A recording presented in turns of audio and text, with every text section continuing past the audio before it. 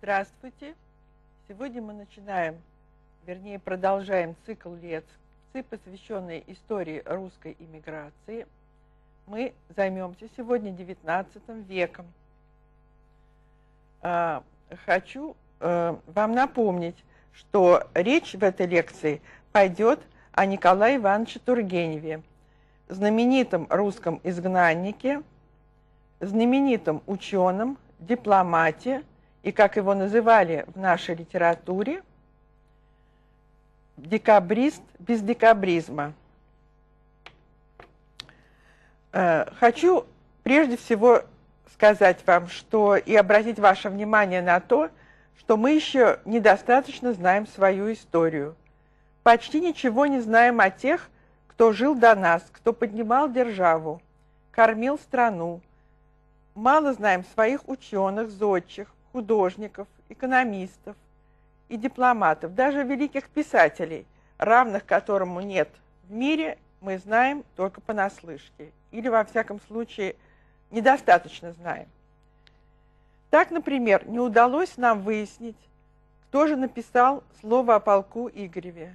Это блестящий эпос древнерусский, но за ту версию о том, что это подделка в XVIII веке, которая появилась, сразу же ухватились. Почему, скажите, кто морочит нам голову, кто нас все время обворовывает, кто стремится замолчать наши достижения? Мы сегодня лишь поставим этот вопрос в нашей лекции, попробуем э, ответить на него. И я предлагаю такой вариант ответа. Вы же должны думать вместе со мной. Давайте думать вместе. Давайте думать дальше. Э, давайте сейчас посмотрим, как э, выглядел Николай Иванович Тургенев, э, которому сегодня и посвящено наше повествование. Хочу напомнить, что имя великого писателя Ивана Сергеевича Тургенева, во всяком случае, как автора записок охотников, знают почти все. Имя же Николая Ивановича Тургенева не знает почти никто. Между тем, это был выдающийся политик, экономист и дипломат любой стране гордились бы таким соотечественником. А мы, то ли слишком мы богаты, то ли следуем какому-то внушению, не умеем э, на самом деле ценить свои таланты. Вот что писал о Николае Тургеневе э, Иван Сергеевич Тургенев.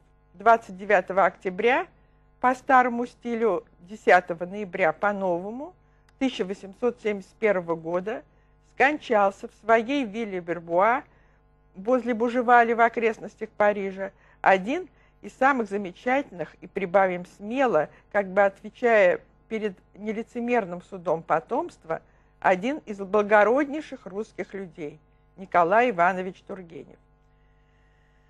В последнее время снова обратили внимание мыслящей публики на этого изгнанника особого рода, который, проведя почти полстолетия в отдалении от Родины, жил, и можно сказать, только России и для России. Чтобы дать хотя бы приблизительное представление о том, что сделал Николай Тургенев для отечественной науки, и для того, чтобы Родина стала из нищей, вечно страдающей, превратилась в процветающую счастливую державу, приведем ряд его основных работ. Первое. Опыт теории налогов, 1818 год. Далее, «Ля Рюсси» или «Рюс», то есть «Россия и русские», написано по-французски. Три тома вышли в Париже в 1947 году. Но переведены были только два тома. Это не свидетельство преступного небрежного отношения в нашей отечественной культуре? Далее, Россия – современный европейский кризис, тоже на французском языке, и тоже не была переведена. В ней, кстати сказать, Тургенев – предсказывает неизбежность Крымской войны и даже в общих чертах намечает результаты ее. Нет, чтобы прислушаться к голосу разума, даже переводить тоже не стали. Следующая работа «Пора», 1858 год. Далее. О силе и действии рескриптов 20 ноября 1859 год. Вопрос об освобождении и вопрос об управлении крестьян. Тот же год о суде крестьян о судебной полиции в России, 60-й год. Э, и затем особо хочу отметить э, его работу «Последнее слово об освобождении крепостных» в 60-м году. Э, ну, надо сказать, что вот в этой работе была помещена записка от 1819 года. Напомню, что, будучи статс-секретарем при Государственном совете, Николай Иванович представлял императору Александру туда записку – Нечто, называлась она, о крепостном состоянии в России. Вот посмотрите портрет Александра Первого, который носил, э, можно сказать, э, его называли, во всяком случае, в народе благословенный. Э, хочу напомнить, что Александр I известен в истории России прежде всего как борец с наполеоновским игом – Э, как устроитель известного Венского конгресса и э, победитель Наполеона. Ну, одна эта записка могла бы служить материалом для размышлений и программы деятельности для целого поколения русских людей. Затем следующая работа, 1866 год, о разноплеменности населения нашей Родины – то есть о разноплеменности России. Эта проблема всегда волновала Николая Тургенева. Он очень остро и, как никто из его современников, пожалуй, понимал, что этническая пестрота государства российского сглаживается лишь весьма относительно единой государственной властью, что племена и народы, населяющие империю, не только не, не имеют общих этнических корней, а Тургеневу – потомку золотоордынского Мерзы это было хорошо известно. Но и даже в культурном историческом плане эти народы столь сильно отличаются, что если вдуматься в их пребывание под одним гербом, то есть под властью одного государства, то представляется какая-то историческая нелепость, которая, по мнению Тургенева, должна была быть исправлена. Он полагал, что исправление должно исходить от самой выносливой, именно в силу то, также ее полиэтничности, нации, то есть от русских. Именно от русских, которые имеют найти общий язык не только с единоверцами православными, но и с людьми других конфессий. Найти этот общий язык и на этом общечеловеческом языке договориться о мирном существовании на громадном пространстве, которое с избытком достанет на всех – вот что предлагал, собственно, Николай Тургенев. Мы останавливаемся специально на этой мысли его, поскольку я нахожу, что она чрезвычайно актуальна и в свете последних событий в России. Нам, нам и сейчас, в принципе, необходимо понять, что только мирное соседство может спасти от самоистребления. Если эта проблема, как вы видите, стояла 150 лет назад перед мыслящими людьми России – то сейчас от ее решения зависит просто-напросто наша с вами жизнь. Следующее по времени работы Николая Тургенева «Что желать для России?» 68 год. И последнее, предсмертное, о нравственном отношении России к Европе 1869 год. Психологический портрет Николая Тургенева не получится, если мы не обратимся э, к тем мыслям, э, которые он сам высказывал относительно себя в своем дневнике. Я остался и оставался всегда верен моим убеждениям. Мнения мои никогда не переменялись. Однако, как согласовать это с тем, что в молодости Тургенев был близок к идеям декабристов? Во всяком случае, в 1820 году – Тургенев однозначно высказался в поддержку установления в России республики и сочувствовал, конечно, восстанию Семеновского полка. В дневнике же своем он выражал восторг в связи с успехами революционного движения в Испании. Таким образом, еще раз подумайте, как согласовать все это э, с тем, что, например, писал о Тургеневе Герцен в 1860 году – то есть уже спустя более четверти века после восстания декабристов и вошедшего на престол Александра II. описал Герцен следующее. «Мы всякий раз с чувством глубокого уважения встречаем имя Николая Ивановича Тургенева в числе передовых бойцов за свободу крестьян, за свободу суда, за свободу всего русского народа вообще. Через 30 лет государственный человек, оттертый Николаем от родины и от деятельности, он являлся с той же верой, Энергия его не утратилась, любовь его к России не остыла. В этих словах, думается, и заключается ответ на вопрос о том, что имел в виду Иван Сергеевич Тургенев, когда в некрологе он писал о нем. Писал он как о человеке исключительно цельном, правдивом и искреннем. Эта цельность, эта искренность, все, чем наполнены труды Николая Тургенева, можно выразить немногими словами – любовь к родине. Все, и увлечение республиканскими идеями, и размышления о лучшем экономическом порядке в России, и гневные слова против крепостного права. Все имело одну цель, было наполнено одной мыслью. Э, несмотря на многочисленное пребывание за границей, Николай Иванович оставался всегда русским человеком, можно сказать, с ног до головы. И не только русским, а московским человеком. Эта коренная русская суть выражалась во всем. В приеме, во всех движениях, повадке, в самом выговоре французского языка. О русском и упоминать нечего. Бывало, находясь под кровом этого радушного гостеприимного хозяина, это вспоминает его однофамилец Тургенев, хлебосола и слушая его несколько тяжеловатую, но все же искреннюю и толковую, честную речь, э, невольно удивляешься – почему ты не сидишь перед камином, почему ты сидишь перед камином в убранном по-иностранному кабинете, а не в теплой просторной гостиной старозаветного московского дома, где-нибудь на Арбате, на Причистенке или на той же Моросейке, где, кстати, Тургенев провел свою молодость. Всякое известие с родины подхватывалось им на лету. Он слушал рассказы о ней с жадностью, со страстным увлечением, верил в нее, в наш народ, силы и в будущее России, в ее дарование. Отметьте, верил в Россию, жил мыслями о ней, ради нее трудился, но домой не ехал. Хотя помилование ему вышло в 1857 году.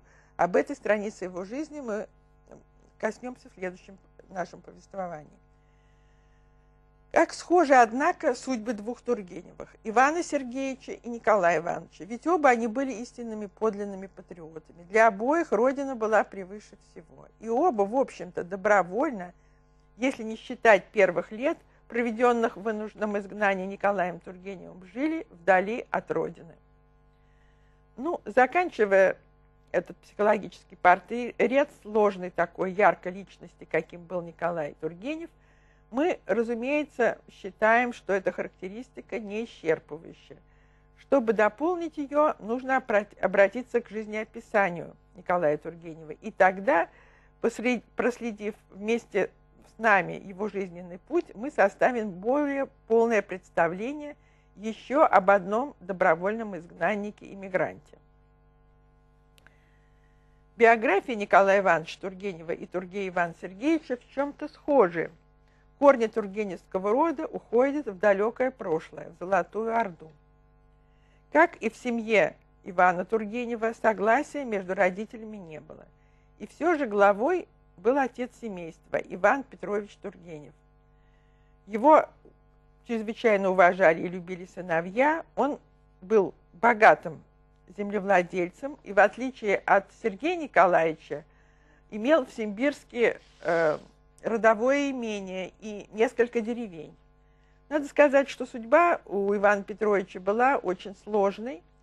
Э, в царствовании Екатерины он близко сошелся с Новиковым и Радищевым, за что попал быстро в опалу, был сослан, и вернулся уже, э, можно сказать, к деятельности активной только после восшествия на престол Павла I.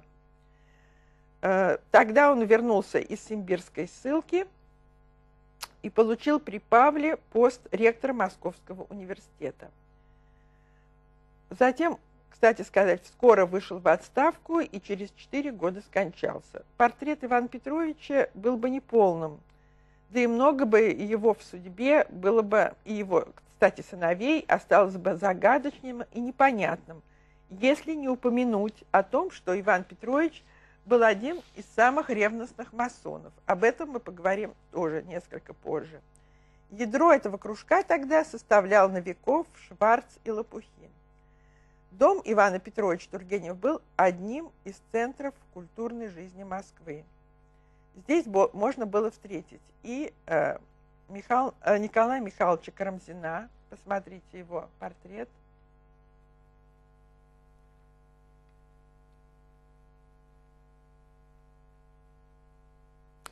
Ну, э, это известный историограф русский, э, автор знаменитого произведения «История государства российского», который получил э, очень спорную оценку в общественно-политической прессе того времени, но оставил очень глубокий след в русской историографии.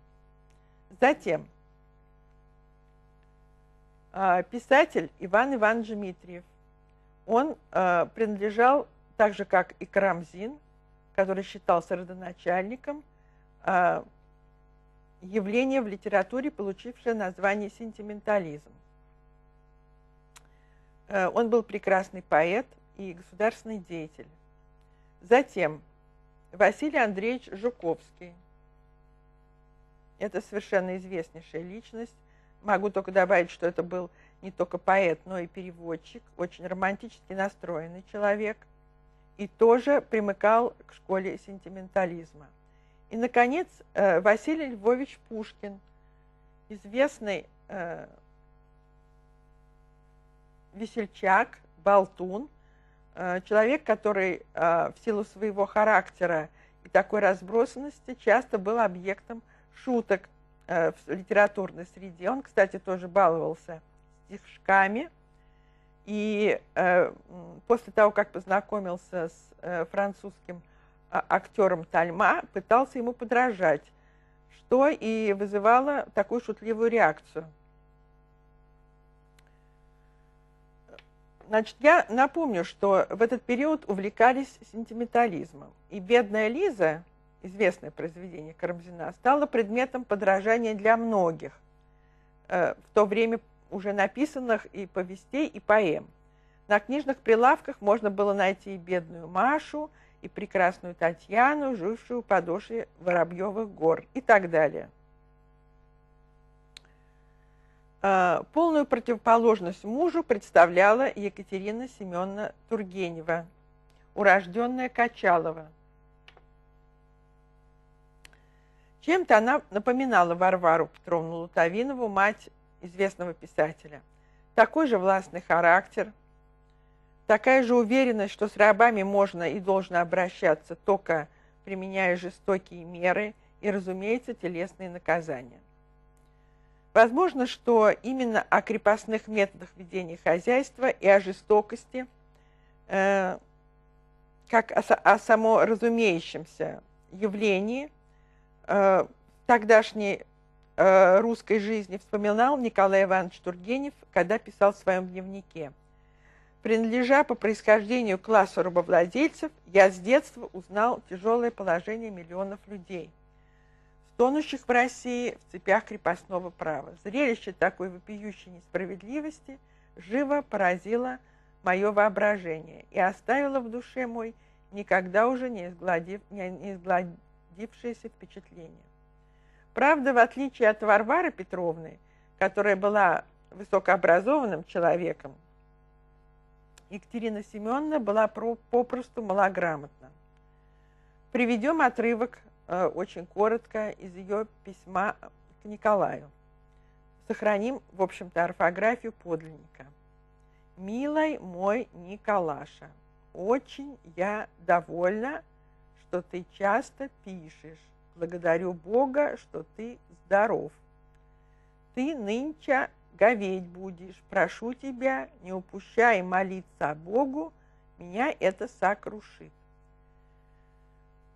Вот э, воспитанием практически сыновей, а у нее было пять мальчиков, она занималась только в том смысле, чтобы при, так сказать, привить им так называемые хорошие манеры, поцеловать у дамы ручку или шаркнуть на балу ножкой. И что, в общем-то, она могла дать этим любознательным умным детям? Э, сама Екатерина Семеновна интересовалась, в общем, только светскими приемами и туалетами. Вот что вспоминает один э, московский барин Булгаков в одном э, из своих писем. Старуха Тургенева, это имеется в виду бал у генерал-губернатора в Москве, старуха Тургенева так разрядилась, что э, на пальце у нее висел огромный перстень, подаренный сыну Александру. И она все подносила к носу золотую табакерку, чтобы все видели дорогой перстень. Э, ну, я уже говорила о том, что в семье было пять сыновей и, можно сказать, ни одной дочери.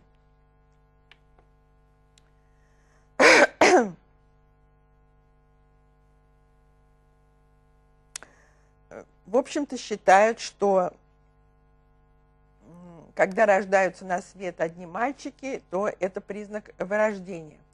Трудно сказать, так ли это на самом деле. Во всяком случае, один из сыновей, Николай, родился с укороченной ногой. Это как раз герой, о котором мы сегодня повествуем. Он был с детства хромым. Второй сын, Андрей, и четвертый, Сергей, умерли в молодости. Андрей по неизвестной причине в возрасте 22 лет – Сергей же просто сошел с ума, узнав о приговоре брату Николаю, и умер совсем юным, 17 лет. А, первенец Иван скончался тоже во младенчестве. А вот Александр Иванович Тургенев, второй сын Ивана Петровича Екатерины Семеновны, родился в 1784 году. Давайте посмотрим его портрет.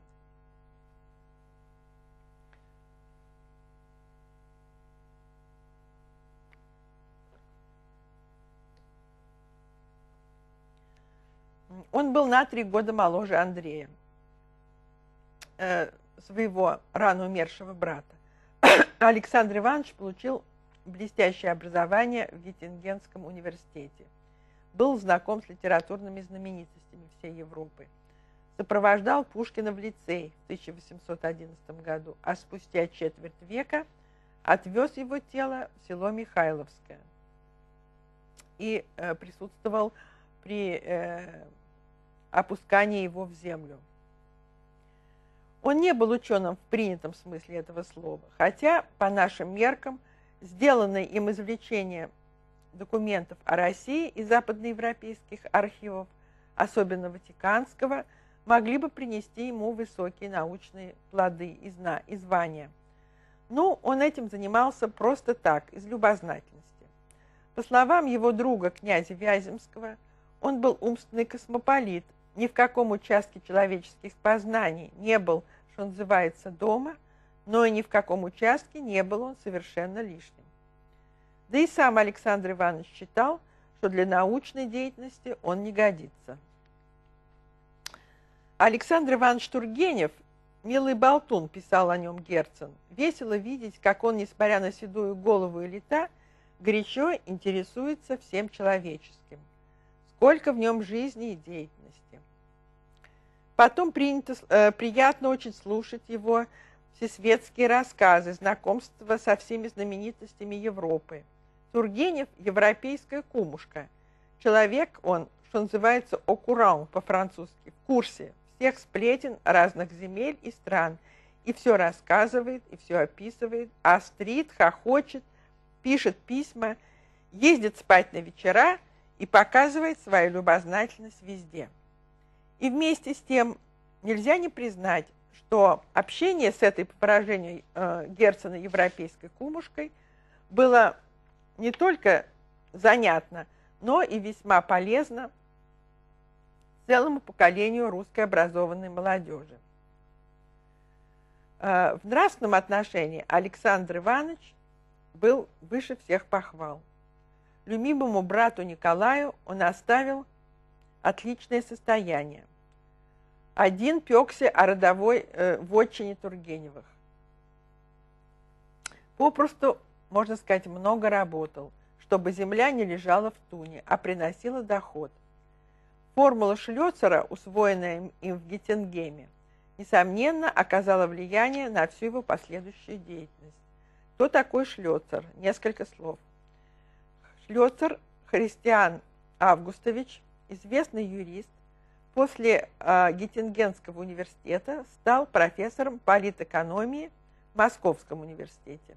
Так вот, эта формула проста. Земля, люди и деньги – основа благосостояния нации, рычаг, приводящий в действие энергию человека. За светской болтовней хорошо воспитанного и образованного мужа стоял рачительный хозяин, преданный, любящий брат. Без постоянной помощи Александра, моральной и материальной, вряд ли мог выжить Николай. Такова была семья, в которой рос и воспитывался Николай Иванович Тургенев. Ну, надо сказать, что дату его рождения часто путают. Называют то 1787, то 1790. Родился же Николай Иванович Тургенев 11 по старому, по новому стилю 22 октября 1789 года в Симбирске. Детство провел в Москве, в доме на Моросейке – который принадлежал его родителям. Этот дом был позже приобретен Боткиным. Сейчас там нет мемориальной доски, которая напоминала бы о людях, когда-то живших здесь и создававших русскую культуру. Но не только этой доски нет, нет самого дома. Между тем известно, что пожар Москвы 1812 года пощадил дом Тургеневых. Николай Тургенев получил сначала, как было принято в те годы домашнее воспитание. Ну, это типично для дворянских семей. Затем детство, надо сказать, вообще оставило глубокий след в его душе. Я уже говорила, что родовое имение было расположено э, на Волге, на правом берегу Волги. Вид открывался на левый берег Великой реки, где уже была настоящая Азия. Там хозяевами были чуваши, черемисы, волжские булгары, киргизы, которые по-русски понимали очень плохо. И все-таки это была Россия. Так еще в детстве Николаю Тургеневу пришлось столкнуться с одной из кардинальных проблем нашей истории – полиэтничностью государства российского. Несмотря, несмотря на яростные протесты матери, сыновей все-таки э, было решено отправить в Геттинген. Первым уехал Александр, следом за ним Николай.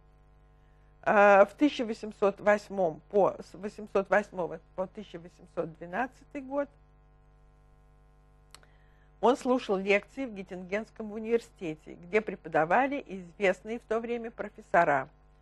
Вот назову несколько имен, чтобы вы помнили. Сарториус, Герен, Гёде. Но Э, если мы э, вернемся опять в Россию, то посмотрим университеты Москвы и Петербурга в это же время тоже обладали прекрасными специалистами. Например, Терновский преподавал богословие и священную историю. Кубарев великолепно знал латынь и преподавал древнерусскую письменность и палеографию. Куркунов – всеобщую историю государства и права. Гастев – геральдику и историческую географию, дисциплину, сказать, к сожалению, почти что в наше время исчезнувшую и забытую. Академик Остроградский читал курс на физико-математических факультетах. Но учиться все-таки, как мы уже говорили в первой лекции об этом, ехали за границу, в частности в Геттинген. Быть может, здесь сказалось и масонские увлечения Ивана Петровича Тургенева. Так или иначе, в 1808 году 22-летний Николай Тургенев отправился в Германию, где он изучал преимущества политическую экономию, финансы и так, когда называли, камеральные науки, то есть это был цикл административных, экономических, финансов и даже психологических знаний – требующихся для подготовки людей, имеющих управлять так называемым камеральным или казенным имуществом. Тургенев готовил себя к дипломатической карьере. Вместе с Николаем Ивановичем Тургеневым в Гентинген по представлению попечителя Петербургского округа Новосильцева была командирована целая группа студентов. Среди них будущие профессора Санкт-Петербургского университета и Царско-сельского лицея. Если вы читали э, книги о Пушкине, а я в этом не сомневаюсь, то вы встретите такие имена. Кайданов, кафедра истории русской, Галич, философия русской словесность, Куницын, естественное право, Карцев, математика и физика, Чижов, математика. Ну, а пока очевидно, что вместе с Николаем, это будущие профессора, окончившие Геттинген, а, пока что ехала группа талантливых молодых людей. А, интересно, кстати сказать, и сопроводительная записка, так называемое «Начертание студентам», Особенно любопытен взгляд на историю. Сейчас коротко две цитаты. Если учение истории состоит не в одном познании происшествий, сказано там, если посредством всей науки должно находить надлежащие отношения государств между собой, если, наконец, историк принужден употреблять свои исследования и где доказательства недостаточны, то ясно, что он учение свое должен учредить следующим образом. Деяния людей – суть главнейший предмет истории. Их нужды заставляют действовать, их намерения, чувства и страсти определяют направление онах и влияние на все, на благо общества. Ну, хочу заметить, что это написано было за сто лет до того, как, скажем, во Франции – были основаны так называемая школа аналов. Основателями был Люсьен Февр и Марк Блок, которые, как считалось, произвели революцию в системе исторического знания, провозгласив главным объектом изучения истории человека. Э, полагают, что автором этой записки, э, которую выше цитировала, был Александр Иванович Тургенев – Тогда он служил в канцелярии Николая Ивановича Новосильцева. Вот посмотрите его портрет. Так, это был выдающийся деятель начала XIX века, с 1815 года. Это был император-комиссар царско-польского, борец, известный э, с националистическим, и можно в данном случае сказать, с национальным движением э, польского народа.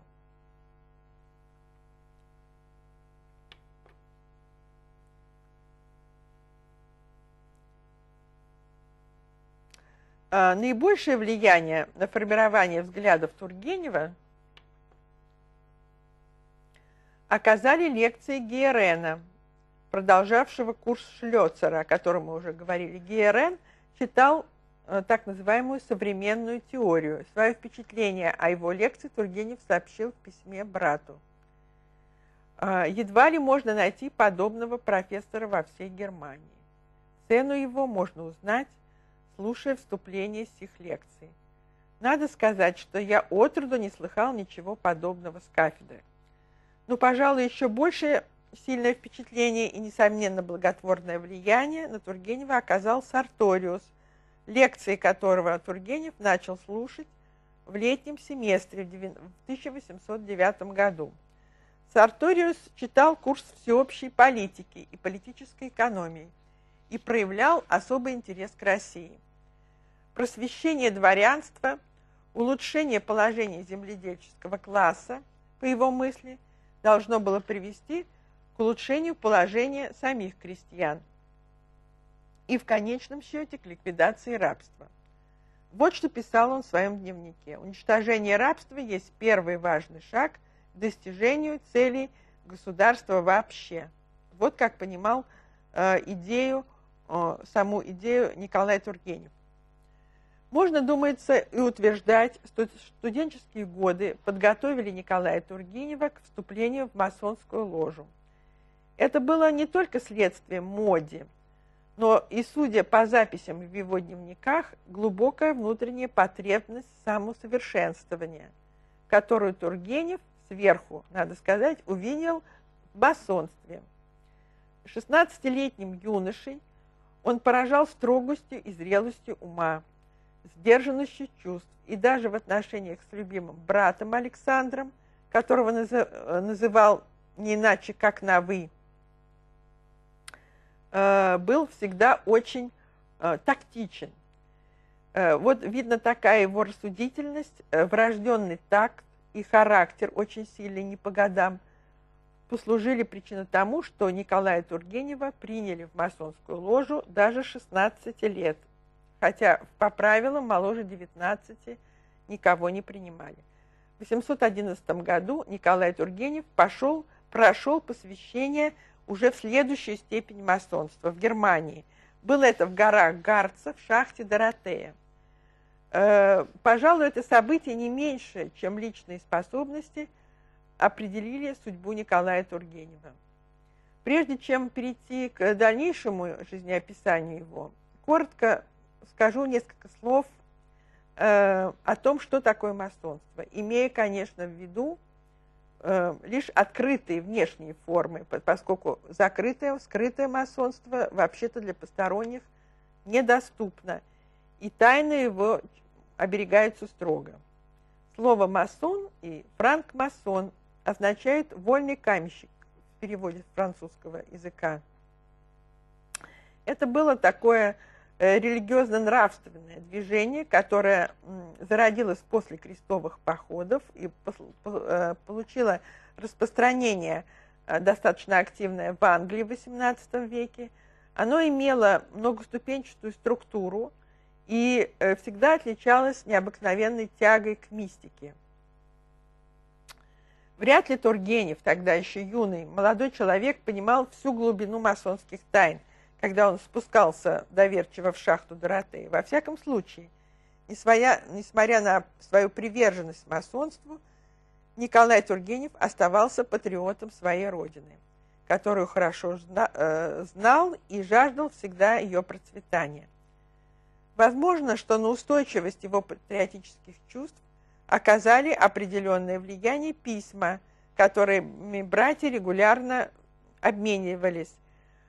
И, к счастью, эта переписка сохранилась. Она была издана, по-моему, в 20-х годах, да, 10-20-е годы, и сейчас это, безусловно, библиографическая редкость. Хочу добавить, что космополитизм масонства не растлил душу Николая Тургенева. Семейные братские связи не ослабевали, а напротив крепли с годами. Трагически ранняя смерть Сергея не только их не ослабила, но и укрепила. Александр оставил брату Николаю значительное состояние, э, что и, в общем-то, помогло ему на чужбине не бедствовать, а, напротив, жить в довольстве и э, далеко от родины продолжать служить русскому делу, русской культуре. В 1811 году Тургенев посетил Париж. Вот посмотрите, как э, на э, такой гравюре выглядит Париж. Начало XIX века.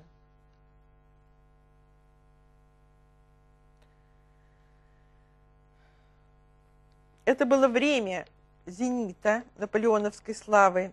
Позади был Ульм, Аустерлиц, Пресси, Шелау, Трафальгар. То есть э, необыкновенные победы тогда уже э, одержал Наполеон. Наполеоновские орды заполонили всю Европу. Что делает Бонапарт? Писал тогда Тургенев. Самодержавное исчадие якобинского республиканизма – Разве так должна идти стройная система человечества, писал он в своем дневнике. Но надо было возвращаться домой.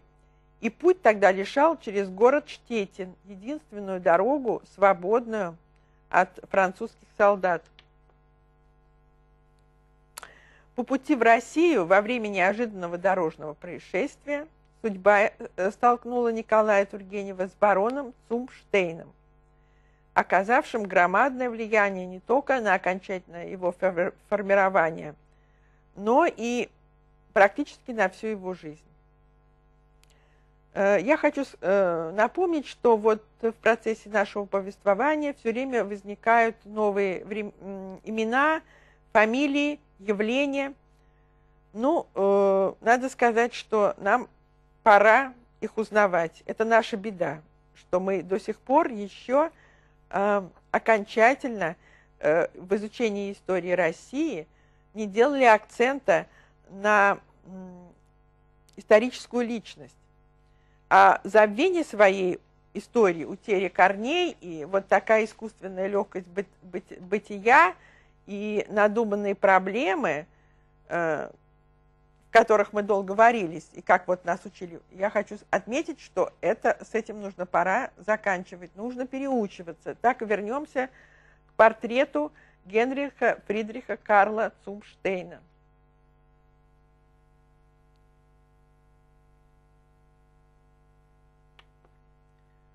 Так, не правда ли достаточно унылая на первый взгляд физиономия? Однако человек он был чрезвычайно интересный. Э, хочу э, по, можно сказать, по пути напомнить вам, что есть э, у Пикуля замечательные исторические миниатюры, где вы коротко можете познакомиться с биографией, в общем-то, этого выдающегося человека начала XIX века. Цумштейн а, родился в 1757 году в Вестфалии. Масон, организатор политического общества в Пруссии, которое ставило своей целью борьбу с Наполеоновской империей. Это был один из выдающихся государственных деятелей и экономистов своего времени, и после опалы в Пруссии, поскольку он вел энергичную э, борьбу с э, прусским монархом за независимость Пруссии и освобождение от наполеоновского ига, он практически был выдворен из страны в 812 году, уже после вторжения наполеоновской армии в Россию, э, Цумштейн по приглашению Александра I приезжает в Петербург и становится советником русского императора.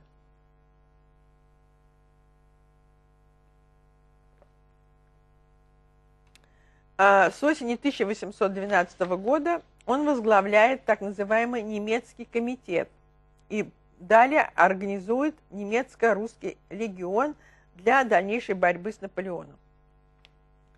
В конце 1812 года Штейн вернулся на родину. И здесь во время работы по организации а, Центральной комиссии по управлению освобождению от французов германских земель, он близко сходится с Николаем Тургеневым. Э, в это время, после того, как Тургенев был уже официально прикомандирован к Штейну в 1813 году, между ними устанавливаются подлинные дружеские отношения. Э, прикомандированный к Штейну Тургенев – выполнял тогда функции комиссара от российского правительства. Он продолжал свою деятельность в комиссии по составлению законов, где некогда трудился и даже всерьез рассчитывал на помощь Александра I в проведении закона о освобождении крестьян. Э, ну, надо сказать, что в целом деятельность Николая Тургенева в качестве помощника Штейна – в такое решающее время, как э, работа э, на Венском конгрессе, чрезвычайно интересно, но весьма мало изучалось. Напомню, что Венский конгресс был, эм, проходил, естественно, в Вене в 14-15 годах. Это был период завершения войны европейских держав с Наполеоном – там присутствовало 216 представителей от европейских государств, и предстояла э, немалая задача как-то передел карты Европы и установление новых границ. Напомню, что работа Тургенева на Ветском конгрессе едва ли э, не сорвалась из-за болезни. Э, с ним тогда произошло что-то непонятное то, пожалуй, то, что свело в могилу его братьев Ивана в младенчестве, Андрея и Сергея в юношеские годы. Э, вот коротко, как он пишет об этом периоде. Страшная головная боль, потеря сознания, длительный недуг, который тогда просто определялся лихорадкой. Заболел Тургенев еще до открытия Венского конгресса, то есть зимой 1814 года. И лишь в феврале 1815 года начал постепенно выздоравливать. Э, вот что он писал э, в своем дневнике. Сначала доктор ласкал меня скорым выздоровлением, но теперь срок моего заключения опять отдалился. При всем том, однако же, он, то есть доктор, уверяет своим честным словом, что через 10 дней я буду выходить. Ну, надо сказать, что молодость все-таки взяла вверх, и болезнь отступила. Тургенев тут же с головой окунулся в дела. Его постоянным руководителем оставался барон Штейн. Э, личная привязанность молодого Тургенева к этому знаменитому немцу уже к тому, к тому времени уже старику не вызывает сомнений. Тургенев чрезвычайно высоко ценил своего наставника и советовался с ним, и полагался на него. Э, ему, без сомнения, импонировали аристократические симпатии Штейна и вместе с тем своеобразное сочетание э, с идеей бессословности. Это очень э, редкий компонент для аристократа. Уже в старости своей вилле Вербуа Тургенев писал эм, в дневнике «Он свято хранил воспоминания о древних привилегиях сословия, к которому принадлежал. Вместе с тем Тургенев отмечает своеобразную демократичность реформ Штейна. Во всяком случае, нет сомнений, что проекты были разумны и представляли себе необходимую уступку новому времени, новым веяниям. Э, если говорить далее о тех э, лицах, которые и фигурах, которые э, воздействовали на формирование Тургенева, то, безусловно, надо еще обязательно упомянуть значит, Адама Черторийского, это был польский и русский дипломат первых лет царствования Александра I, который был очень любопытен Николаю э, Тургеневу. И вместе с этим обязательно надо упомянуть, практически это было в одно и то же время, э, имя швейцарца Лагарпа. Мы уже говорили в прошлой лекции с вами о э, присутствии Э, иностранного начала э, в русской политике э, и в русской экономической жизни. Ну, Фредерик Сезан Лагарб известен в литературе, я думаю, что вы знакомы с его именем. Это был воспитатель будущего императора Александра. Он внушал своему воспитаннику отрицательное отношение к самовластию – и превозносил законность, как мы сказали бы современным языком. Его идеал был прогрессивный самодержец, каким практически и стал Александр I, если не считать отдельных черт его, о которых мы сейчас не будем подробно говорить. Так вот, эти две, сказалось бы, противоположные фигуры э, оказали существенное влияние на Николая Тургенева. Причем надо сказать, что э, такой идиллии, как со Штейном, э, у Николая Тургенева ни с Лагарпом, ни с Черторийским не сложились. Э, сейчас самое время сказать и о несколько слов об анализе его работ. Ну, я остановлюсь лишь на крупнейшей его работе «Опыт теории налогов». Это, можно сказать, наиболее значительное из всего, что Тургеневым было создано на э, экономической почве. Она положила, эта работа, начало русской финансовой науки и, безусловно, заслуживает того, чтобы наши современные экономисты обращались к ней и э, в своих проектах и занимаясь прогнозированием будущего. Вот несколько мыслей оттуда. Эти мысли настолько злободневные, что стоит, может быть, остановиться подробнее даже на них. Николай Тургенев полагал, что принципы налоговой системы, основанные на крепостном праве, изжили себя к началу XIX века. Освобождение дворян от налогов привело их к полной незаинтересованности в рентабельности собственного хозяйства, а следовательно и к упадку всего сельскохозяйственного производства – Соответственно, далее к росту цен и как результат демографическому спаду, который был всегда грозным предупреждением деградации нации. Ибо, считал Николай Тургенев, человек связан с землей неразрывными узами. Человек зависит от земли в той же мере, какой земля зависит от него. По мнению Тургенева, натуральные повинности, взимаемые из крестьянства, недопустимы, равно как в экономическом, так и в нравственном отношении. Налоги, взимаемые натурой, тормозят денежное обращение, влекут за собой злоупотребление всякого рода, в частности, выпуск бумажных денег, которые тут же обесцениваются. Начинается инфляция, затем, естественно, гиперинфляция, и как результат – обнищание того самого народа, который производит необходимый обществу продукт. Таким образом, получается как бы заколдованный круг. Э, ну, хочу еще добавить э, несколько слов об этой работе. Он ратовал тогда уже за э, рыночную, если говорить современными словами, экономику –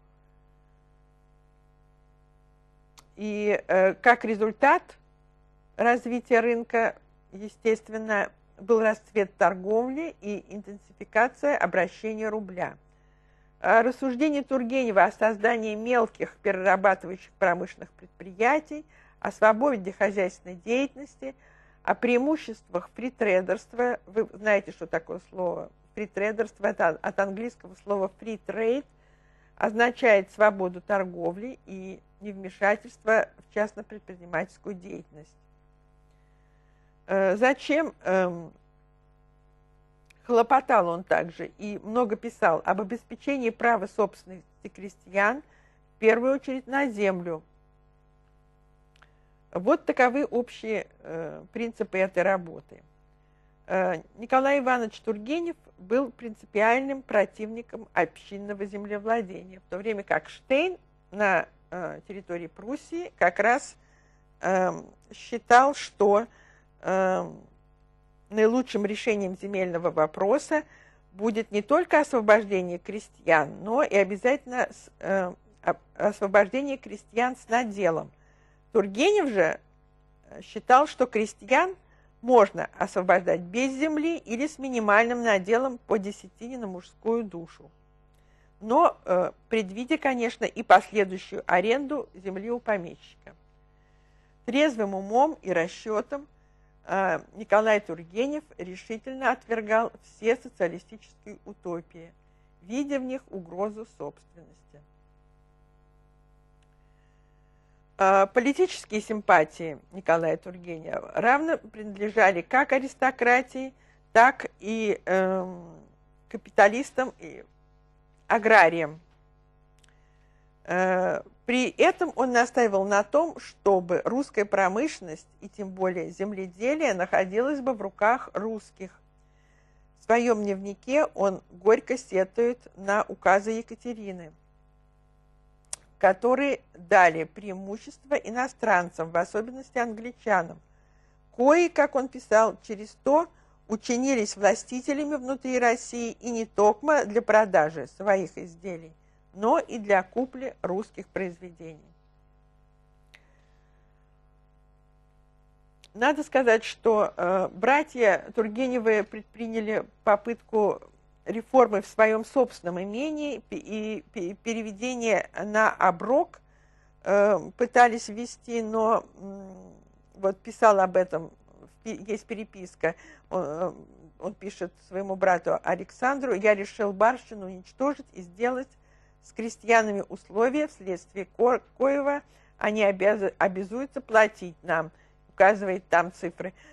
Надо сказать, что эта э, его реформа практически не дала никаких результатов. Однако это не остановило Николая Тургенева. В 1819 году по предложению Санкт-Петербургского генерал-губернатора графа Милорадовича он составил записку, вышеупомянутую, э, нечто о крепостном состоянии в России, э, которая была представлена Александру Первому. Э, вот главные мысли этого документа. Первое положение. Существует два рода прав. Естественные человеческие права и права политические. В России человеческими правами пользуются дворяне, купечество, мещанство, казенные крестьяне. Политическими правами дворяне и отчасти купечество. Тургенев полагает, что всякое распространение политических прав дворянства было бы неминуемо сопряжено с, пагубной, с пагубой для крестьян, э, которые находились в крепостном состоянии. Э, всем то смысле, писал он, власть самодержавная есть якорь спасения для Отечества нашего. От нее и от нее одной мы можем надеяться на освобождение наших братьев от рабства столь же несправедливого, сколь и бесполезного. Грешно помышлять о политической свободе там, где миллионы не знают даже и свободы естественной. Смотрите, какие пророческие слова.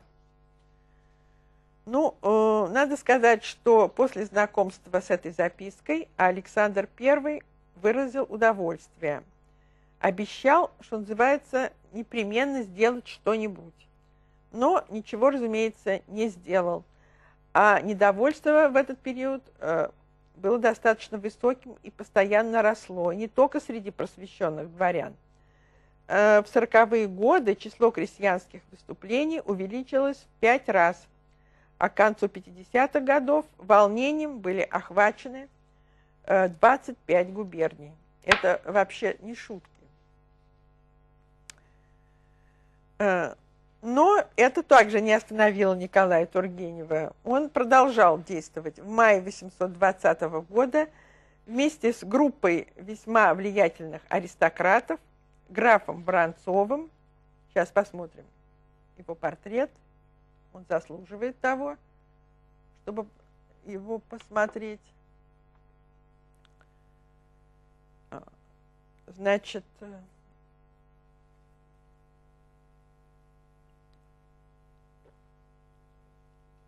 Михаил Семенович Воронцов, командующий оккупационными войсками во Франции в 1815-18 годах, был консерватором английского типа. О нем есть большая литература, подробно не буду рассказывать.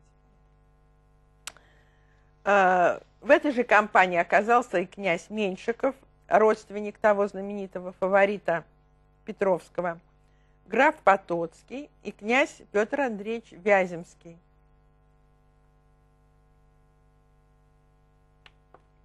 Сейчас посмотрим. Так, Петр Андреевич Вязинский, известный поэт, критик, близкий к семье братьев Тургенев и известный друг Пушкина. Э, таким образом, вот силами этих знаменитых тогда людей было организовано общество содействия освобождению крестьян – Однако и это начинание не нашло поддержки у царя. С этого времени как раз начинается конфликт Николая Тургенева с петербургской аристократией.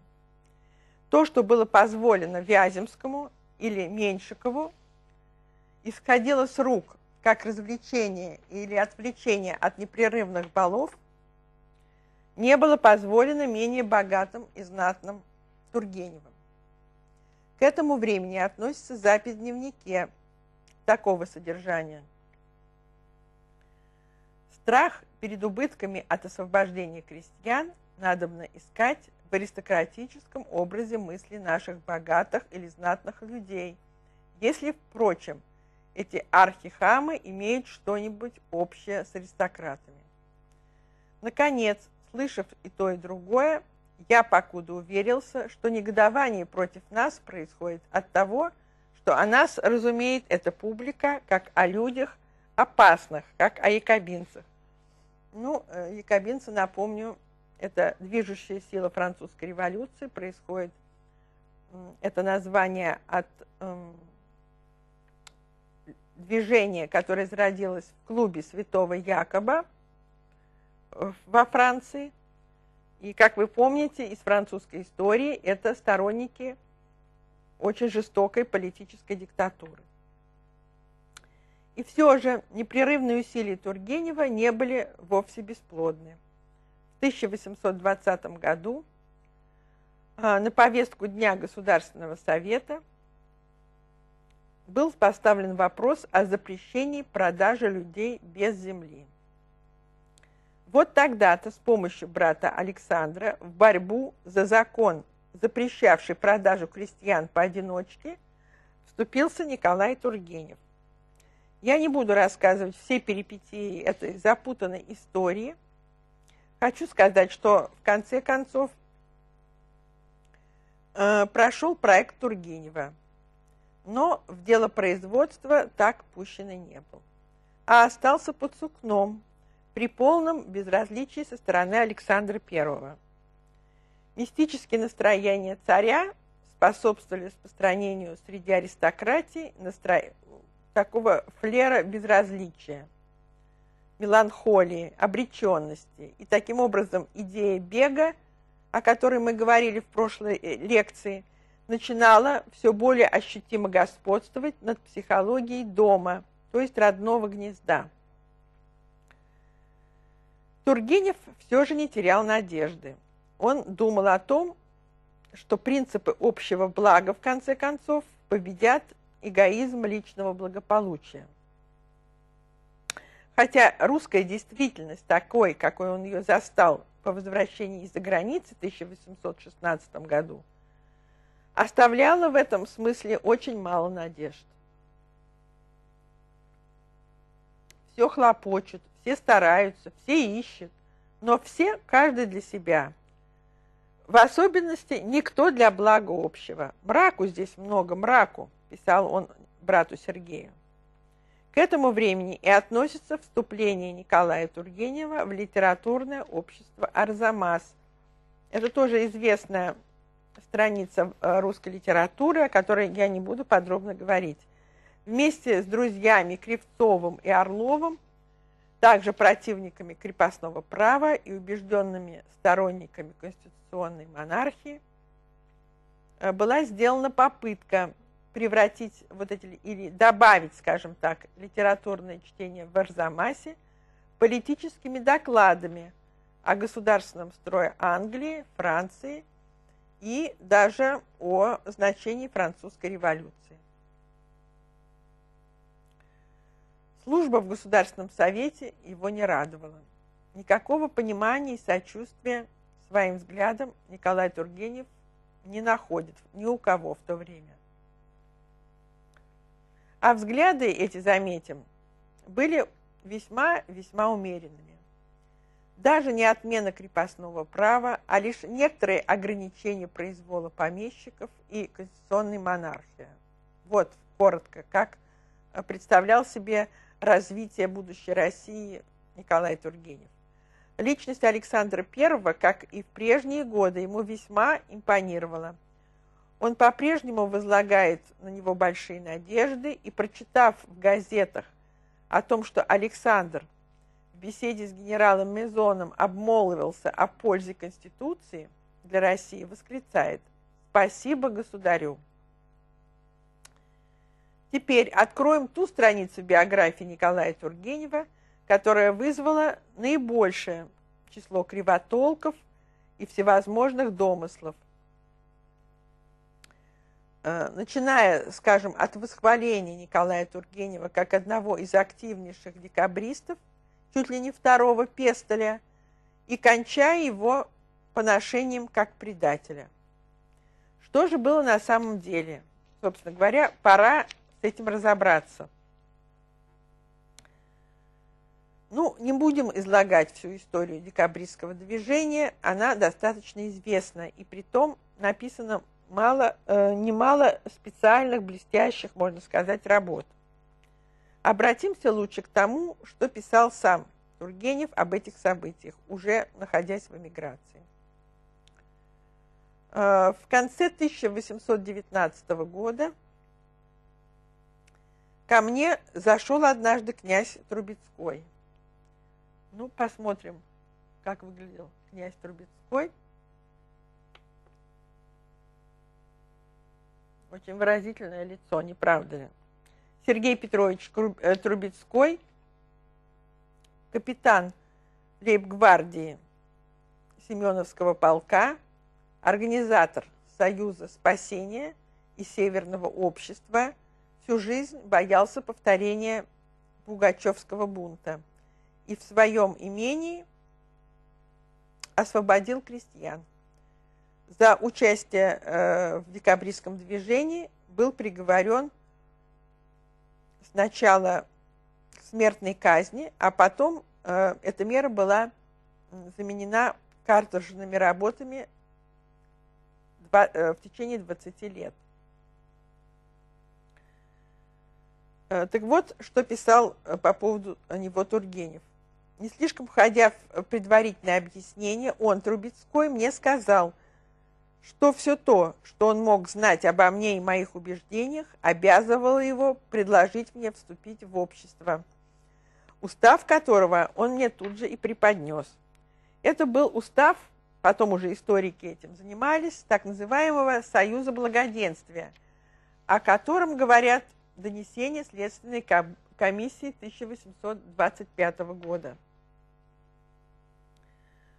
Э, Тургенев э, тогда отмечал, э, что я посмотрел устав, общество ставило себе целью общественное благо, члены Союза должны были быть разделены на несколько разрядов или секций, из коих одна занималась бонародным просвещением, другая – юстицией, третья – политической экономией и финансами.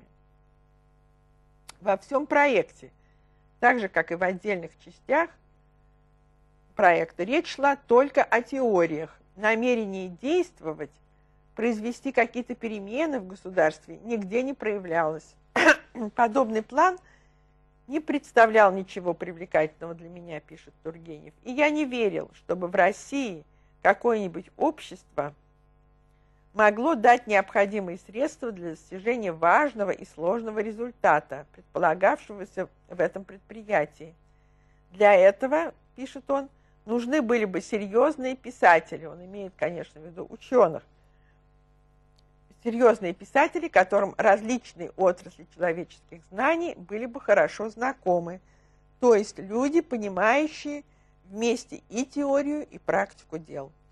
Россия к тому времени, по мысли Тургенева, почти совершенно лишена была от таких людей. И я прибавлю, что в этом случае, как и во многих других, он отмечает, меня опечалило то обстоятельство, что между добрыми намерениями в уставе общества совершенно не было вопроса, который, с моей точки зрения, доминировал над всеми остальными, то есть об отмене рабства. В общем, принятый план обнаруживал мало опытности, мало зрелости и даже некоторое ребячество, что мне как раз и не нравилось, он отмечает. Тем не менее, я не счел себя вправе последовать примеру моего друга-поэта, и я думал, что всякий человек должен оставить в стороне мелкие формальные соображения и пренебречь личными неудобствами и даже опасностями, он пишет. Ну, далее э, идет повествование, э, приблизительно те же мысли пересказываются. Я хочу сказать, что исследователи декабризма – справедливо указывают ну, на некоторые неточности в рассказах Тургенева. Прежде всего, он вступил в Союз Благоденствия не в конце 19 года, а в это время Трубецкого вообще не было в Петербурге, а в самом начале или даже в конце 18 года. Знал Тургенев Трубецкого и раньше, и довольно коротко – да и кроме теоретических соображений в программе Союза было немало мер чисто практических. Ну, правда, мнения никогда не, не, э, не сходились, и в дневнике от 29 ноября 2019 года он записал, «Вчера собрались у меня человек пять, один туда, другой сюда, не правда ли типично?»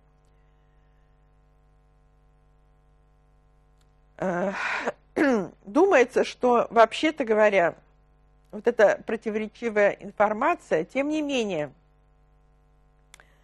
э, должна нас натолкнуть на мысль, что все-таки Николай Тургенев к тому времени был человек весьма умеренных взглядов. Он все-таки был, конечно, близок к движению декабристна, но, тем не менее, он был дворянин и помещик, который, безусловно, верил, как я говорила об этом выше, в предназначение помазанника Божия и был убежден, что рано или поздно, обращаясь к царю, можно достичь определенного ответа, и что царь на то и царь, чтобы выше сию, сиюминутных интересов ставить судьбу своей страны. Логично, не правда ли? Э, дальнейшее участие Тургенева в деятельности Союза Благоденствия свелось к тому, что он приехал в Москву на съезд, который состоялся э, в январе 1821 года. К этому времени относится и краткая запись в дневнике. Что-то скажет Москва. Ну, как известно, Москва ничего тогда не сказала. Во всяком случае, известно то, что на съезде царила паника, и дошли слухи, что императору донесли о существовании тайного общества. Думается, впрочем, что даже при крайней беспечности членов Союза и донос тогда не потребовалось. Все всплыло на поверхность само собой. Тогда же было принято решение о закрытии Союза Благоденствия. Немногие знали о том, что решение это преследует цели конспирации. Вместо Союза Благоденствия тогда же образовалось два общества. Вам истории, из истории России должно быть это известно. Северное и Южное. Тургенев же в своих воспоминаниях категорически утверждает, что после распуска Союза Благоденствия никакому тайному обществу он не принадлежал. А человек он был в высшей степени правдивый и прежде всего очень высоко ценил понятие чести. Показания же декабристов на процессе полны противоречий – и на их основании делать заключение о том, что Тургенев после распуска Союза Благоденствия продолжал действовать в Северном обществе, никак нельзя. Пестель, например, отрицал участие Тургенева в, в нем. Дневник же Тургенев дает основание считать, что бесконечные споры, разговоры о тайном и нетайном ему очень прискучили, и что, как человек весьма умеренных взглядов, имеющую только определенную цель, то, что его интересовало уничтожение крепостного права, э, он считал, что это, эту идею уже заболтали в этих диспутах. И возможно, что его отъезд за границу в 1824 году был продиктован не только необходимостью поправить здоровье, но, видимо, он хотел уйти от движения, которое стало ему чужим. К выступлению на Сенатской площади Николай Тургенев вообще не имел никакого отношения.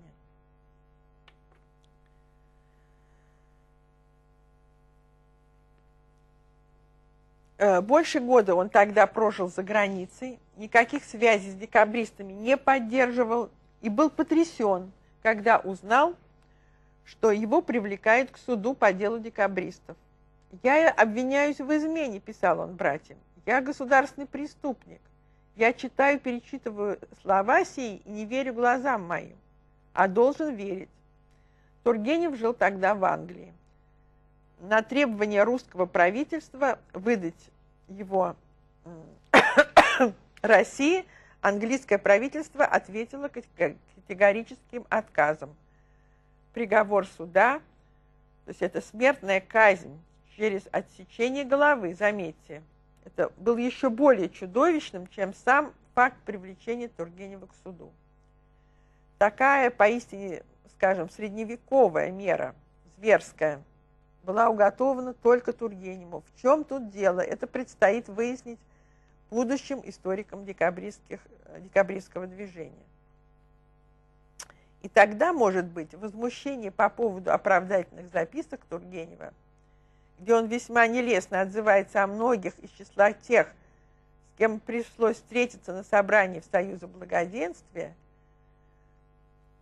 будет более очевидным и покажется в большей мере надуманным и порожденным тем безусловным пиететом, которым мы испытываем перед декабристами. Э, в этот период, вот как раз э, английский период жизни Николая Тургенева, наступает эпоха, так называемая эпоха составления оправдательных записок. В мае 26 года он прислал брату Александру первую оправдательную записку для представления в Следственную комиссию. Прежде всего, Тургенев опровергает утверждение, что восстание 14 декабря – это дело тайного общества. Общество как законченной организации в России не было, он утверждает, а были лишь попытки его организовать. И заговоры вообще не носили такого характера, какой сейчас мы э, вкладываем в это понятие. Мнения и слова тогда только могут быть преступными, когда объявлены всенародно или публично, писал он. Сам он видел только устав, о котором речь шла выше, котором говорится об учреждении училищ а и о благотворительности. Хотя, конечно, он был знаком близко с некоторыми декабристами, и, которые читали этот устав, но он никогда не предполагал, что он имеет тайный оттенок.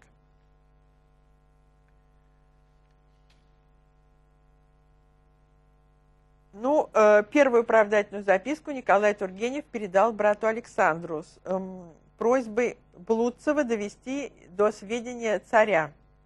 Именно Блудов, тогда член Верховного уголовного суда и старый друг семьи Тургеневых, сообщил Александру страшное известие о приговоре брату Николаю. Ответа на записку не последовало. Тогда Николай Тургенев пишет вторую оправдательную записку, но не будем Э, еще раз, так сказать, э, останавливаться на ней подробно. Э, хочу сказать только, что записка эта осталась без последствий, равно как и третья, написанная в 1830 году. Хлопоты Жуковского также не привели ни к чему, и фактически Тургенев остался за границей. После казни декабристов авторитет царского правительства – упал сильно в глазах европейских дворов. Победа над Наполеоном выдвинула Россию в ряд первых европейских держав. На Александра I возлагались тогда большие надежды. Но после 25 года стало известно, что надежды эти несбыточны. И Николай I, который был заинтересован в престиже царского правительства и подъем авторитета страны на международной арене – тогда отправил в Шотландию в мирную миссию в лице посла Горчакова. Ну, э, вы знаете эту фигуру Горчакова, это посол нового типа, основатель, можно сказать, русской дипломатии, очень популярная э, личность э, в дипломатическом мире начала XIX века. Значит, посол ехал с целью навестить Тургенева и вернуть его в Россию. И Николай боялся очень европейского скандала, но Тургенев ответил отказом. Были и другие попытки уговорить его вернуться в Россию. Скажем так, вскоре после визита Горчакова э, к Тургеневу явилась вдова графа Разумовского. Ну, вы знаете, э, наверное, читали о, об этой знаменитой семье графа Разумовского – в данном случае речь идет о сыне последнего украинского гетмана. Э, он всю жизнь увлекался мистицизмом. Э, был, кстати сказать, неверный муж, и жена, э, графиня Генриетта Разумовская, сделала все, чтобы предотвратить его брак с француженкой. Второй брак. После смерти мужа графиня Разумовская – последовала примеру мужа в том плане, что она э, очень увлеклась католичеством и мистицизмом и э, посвятила себя практически служению иезуитам, в особенности известному в то время мистику Жозефу до Местру. В 1816 году в его свите она выехала из России и всюду его сопровождала и беспрекословно слушалась. По его совету и она отправилась к Тургеневу. Повод для визита был трагический. Скончался младший брат Тургенева Сергей. На душевном состоянии Тургенева Генриетта Разумовская хотела, конечно, сыграть, однако из этого ничего не вышло.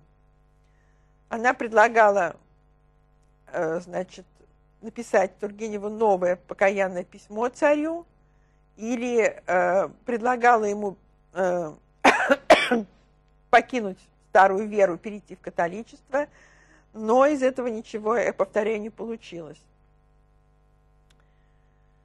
Э, он написал э, очень такое покаянное письмо Александру и написал, тем не менее, что я буду переносить величайшую беду свою, поскольку я напомню, что брат Сергей не выдержал вот этого приговора и сошел с ума и умер, э, то, Александр, то Николай Иванович, значит, чувствуя каким-то образом Э, вину на себе, хотя это, можно сказать, была лжевина, он с величайшим достоинством эту беду переносил. Э, Тургенев в Россию все-таки не поехал. Из Англии он перебрался во Францию и в 833 году женился на дочери ветерана наполеоновской армии маркиза Гаэтена Виариса, Кларе.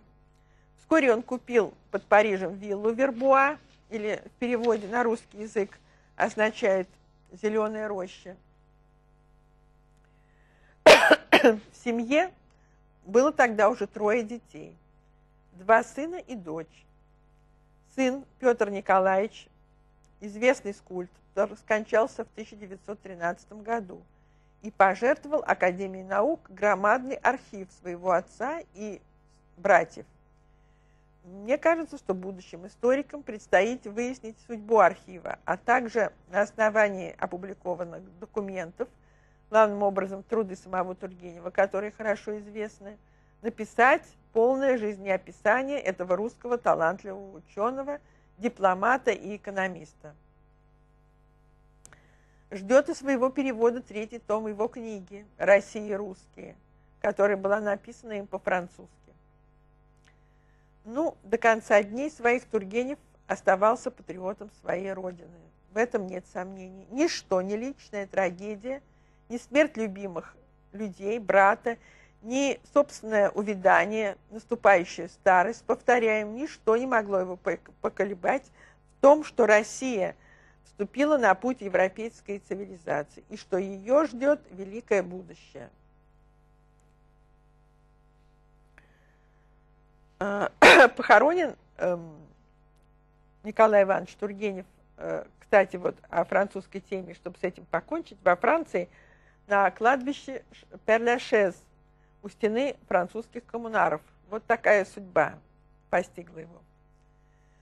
Ну, вернемся к нашему изложению. Вот что он писал своему брату вскоре после перенесенного известия о смерти младшего брата Ивана, ой, простите, Сергея. Мне утешительно видеть из письма вашего, что вы не забыли о наших мужиках. И я думал о них. Эта обязанность лежит на нас тяжелее теперь, чем когда-нибудь. Я могу содействовать исполнению оной одними советами. На вас же обращается весь труд действовать. Вот совет мой. Будущая участь крестьян должна быть обеспечена. Обратите внимание, уже после тех перипетий жизненных, уже как будто бы при спокойной жизни, эта э, проблема э, крепостного состояния не, продол, э, не продолжала, вернее, продолжала его волновать. И мы умрем, и моя жизнь или смерть не может иметь никакого влияния на их участь. Но смерть ваша может лежить в возможности улучшения их бытия. Э, таким образом, он дальше в этом письме пишет о том, что нужно обязательно, помимо того, что заняться э, серьезной реформой, необходимо еще оставить обязательно сумму на содержание училища и создание училища для э, крестьян. э, даже в тяжелый день своей жизни, когда он узнал опять-таки о смерти брата, он продолжал думать о родине. Бессмысленные жестокие меры привели к тому, что Россия потеряла одного из славных своих сынов. Но Тургенев никогда не терял России. Все мысли его были постоянное стремление к добру, и все было направлено на родину. Приведем вот в заключение небольшой отрывок 14 годом, датированный в Риме, когда еще судьба ему улыбалась, и когда еще впереди открывалась блистательная карьера дипломата. Вот что он писал. Долго смотрел я на карту Российской империи. Ужасное, почти необъемлемое пространство. Какое отечество? Нельзя более любить своего отечества, как я люблю Россию. Но всегда при мысли об отечестве мысль некоторой жалости, мрачная, печальная, побеждает все другие. Ужасное пространство России. Как управлять ею из Петербурга? Как управлять этим пространством? Эти мысли, он не оставляли его до самой смерти. За час, обратите внимание, до смерти он читал третий том «Окраин России» Самарина. Ну, Тургенев счастливо жил во Франции, он любил Францию, ценил ее таланты. В день смерти в гостях у него был Виктор, Виктор Гюго – и он делился с ними своими последними мыслями и сомнениями. Э, в России после 25 года он был три раза. В 57-м, 59-м и 64-м. Когда уже мечта его сбылась, и русские крестьяне получили свободу. Но ненавистное рабство, так сказать, прекратилось. Были возвращены Тургеневу даже все чины и дворянс, э, дворянские титулы – и Александр II, освободитель, молчаливо признал страшную ошибку своего отца, хотя официального оправдательного приговора не было. Но всем было ясно, что Тургенев был осужден напрасно. Но его дом, его семья были уже теперь не здесь, а во Франции. Там его ждали, там была жена, взрослые дети, внуки. И Тургенев уже глубоким стариком уехал из собственного дома, домой уже во Францию. вот парадокс рус, русской эмиграции. Уехал со слезами, чтобы больше никогда не вернуться. Э, мне хочется закончить наш рассказ выдержка из некролога, который Иван Сергеевич Тургенев посвятил Николаю Тургеневу. Лучше и более прочувственно и более верно все равно нам не удастся сказать. Вот что писал Иван Тургенев. Сам, кстати сказать, почти постоянный житель Франции. И такому-то вполне русскому человеку суждено было жить и умереть за границей. Но не будем слишком жалеть о нем. Воодушевимся скорее его примером. Пример человека, неуклонно преданного тому, что он признавал за правду, полезен и нужен всем нам русским. Из возможных благ, доступных людям, Многие достались на его долю. Он вкусил вполне счастье семейной жизни, преданной дружбы. Он узрел и он осязал исполнение всех своих заветных дум. Память его останется всегда драгоценностью для всех, кто знал его, но Россия не забудет ни одного, не забудет одного из лучших своих сынов. Вот на этом мы сегодня заканчиваем лекцию, посвященную такому своеобразному иммигранту XIX века. постарайтесь осмыслить его биографию и постарайтесь сделать сами вывод о причинах и мотивах э, этого изгнания. Речь идет у нас о XIX веке. В следующей лекции мы займемся XX веком. Это будет уже тема о трех волнах, волнах русской иммиграции. Э, я думаю, что вы найдете в литературе все необходимое, чтобы составить более, более полное представление о иммиграции XIX э, и XX века. Могу рекомендовать в заключении вам свою собственную книгу «Загадка русской иммиграции». Она вышла в 1997 году э, в издательстве «Гранат». И среди благородных, скажем так, изгнанников и иммигрантов вы найдете в компании и э, Сергей, э, Ивана Сергеевича Тургенева, и Гартмана, и Кропоткина, известного анархиста, и э, великолепного русского философа, полковника Лаврова. Не правда ли достойная компания?